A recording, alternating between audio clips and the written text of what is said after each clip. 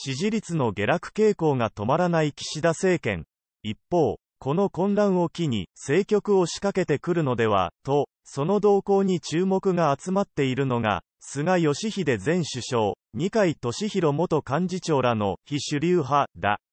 両氏による岸田文雄首相批判は止まらないようで、木野原氏、取材対応を一時再開も違法風俗、報道で再び雲隠れ。ここ1ヶ月、岸田政権を最も動揺させているのが、首相最側近にして影の総理とも言われる木原政治官房副長官をめぐる報道だ。木原氏は、週刊文春で妻の元尾の不審死についての疑惑を報じられて以降、約1ヶ月にわたり、記者が接触できない首相官邸の裏口からの出入りを続けている。日々慣例として行われてきた番記者による取材も家族のケアが必要という理由で応じていない。首相の外遊にも同行せず、松野博一官房長官が不在時の定例会見の代行もしない木原氏には、副長官としての責務を果たしていないと党内外から批判が噴出。こうした声を気にしてか、8月7日には突然、この1ヶ月間応じていなかった番記者からの取材対応を再開した。全国市政治部記者が明かす。午後6時半ごろ、いきなり6時40分から取材に応じると幹事社を通じて連絡があり、各社の記者は慌てて官邸のエントランスに集まりました。そこに現れた木原氏は何事もなかったかのように、いつもの上から目線で開口一番、なんか、ある、と言い放ちました。1ヶ月、取材に応じなかったことの釈明や謝罪はなし。突然の連絡だったので、木原氏とは初対面の記者も多数いて、一連の報道についての質問は出ませんでした。翌8日も取材に応じたものの、9日には、文春オンラインが、木原氏が違法な本番行為が横行する風俗店の常連だったと報道。すると、再び取材対応がなくなり、お盆明けも取材対応は難しいと各社に連絡してきました前出の全国紙政治部記者。木野原氏が休むと各社に連絡してきた10日にも、衆院選の選挙運動費用収支報告書2事務所の家賃支出を記載していないという公職選挙法違反の疑いが文春に報じられたが、木原氏はコメントを避けたままだ。相次ぐ報道の中、この記者は、木原氏の明らかな変化を感じ取ったという。記者団の前に現れた時は平成を装っていましたが、かなり痩せたのは明らかでした。9月にも行われる見通しの内閣改造では、副長官を外される可能性が高い。連日の報道で、心身ともに参っているのではないでしょうか。影の総理のピンチは、すなわち政権のピンチです。岸田内閣の早期退陣を望みます。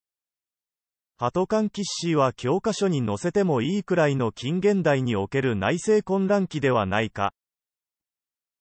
とはいえ非主流派も、恨み節だけではなく、誰を立ててどうするかが見えないと判断もできない。菅氏は早々に自身の再登板を否定している。自民党支持率が物語るように、国民は徐々に、この際、叱るべき野党でもいいと思いつつある。内紛だけ見せられても虚無感が解消されることはない。いずれにせよ、大事なことなのでもう一度言うが、岸田内閣の早期退陣を望みます。岸田首相には一刻も早く首相を辞任していただきたい。菅氏らの記事のタイトルにあるような、必ずいつかはやり返す、を実現させたい。このように思う一般国民が岸田首相を退陣させるためにできる唯一の手段。それは、次の衆議院議員選挙で危険や無効票を投じることをせずにあえて今の自民と公明を与党の座から確実に引きずり下ろすこと。これに尽きるかな？エッフェル姉さんを注意したのがドリル優子というのが、もはやお笑いの域と感じます。ネットであのポーズをドリルポーズと揶揄した方が見えましたが、まさにあれはドリルの形そのもの。ドリルを思い起こさせるからあのポーズはやめてくれとでも注意したのでしょうかあと、木原は逃げ回ってないで、きちんと説明責任果たすべき。木原がとか、エッフェル姉さんがとか以前に、所得倍増を掲げて首相に就任しながら、出てくるのは増税の話と海外へのばらまきの話ばかり。意気込んでやってみた国葬は G7 首脳経験者すら来ないありさまで弔問外交はどこへやら。せがれもお土産調達と皇帝の私物化でソース感になるのは当たり前。まずは諸子貫徹で所得倍増を達成してればみんな目をつむってくれたと思うよ。むしろ明細賞だと評価されてたはず。この記事を読むと週刊文春に木原疑惑を垂れ込んでスキャンダルにしたのは菅義偉の謀略かなと勘ぐりたくなる。菅義偉氏は警察、ことに公安を駆使して政治家や官僚のプライベート情報を掌握して、それを自己の政治的なパワーとしていた人。それが彼を史上最強の官房長官と言わしめた。今回の木原氏の疑惑、警察内部からの情報なしにはありえない詳細な事実が文春には記述されている。木野原氏がこのスキャンダルに暴殺され悩みを抱えることで、岸田政権を揺さぶるなんて陰険な策略を思いつくとは。かつて、菅アリンとか安倍官邸の日村と言われた菅義偉以外には考えられないでしょう。エッフェル塔問題は、SNS に写真を投稿したから削除すればいいということでもないし、松川や今井議員を更迭すれば終わりでもない。国民に増税を強いようとする前に、国会議員の無駄遣いを見直そうとしないのか。国会議員の既得権、特権が異常なほど優遇されていることには与野党ともに本気で国民の血税なんだと理解してほしい。自分は自民がまだまし、というスタンスだったけど岸田政権になってその考えも変わった。選挙には必ず行くのでこのままだと他に入れる。自民は一度下のしたことを忘れてるみたいだから、もう一度思い出させないと変わらないと思ってる。岸田政権は小泉竹中政権以来の最低レベル。これは誰もがよくわかるが、代わりに出てくる総理が与党にせよ野党にせよ、財務省果ては政権交代の意味がない。失敗を繰り返し続け、日本の世情を暗くした財務省を解体し、緊縮財政派を隅に追いやる力のある積極財政を進められる政治家が欲しい。まあいない？だから日本の暗闇は続く。唯一の手段は、国民が真剣に立ち上がり国の進む道を変えることしかない。岸田内閣の危機は国政の危機とも言える。誰が犠牲となるかといえば国民なんだが、二階さんも菅さんもまさかそれに気づいているのかな。ベテランの活躍は政局にありでは存在が疑われないか。ただこれまでも書いているのだがリーダー不在の政治が続いているのには国民の一人として危機感を覚えるし、岸田さんは特にひどい気はする。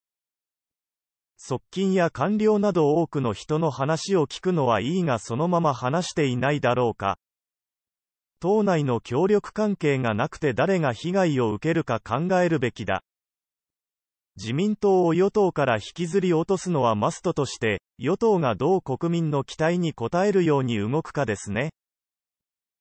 立憲民主党は論外ですが、野党の各党って今のポジションが居心地よいからずっとこのままがいいって政権奪取意欲が皆無に見えます。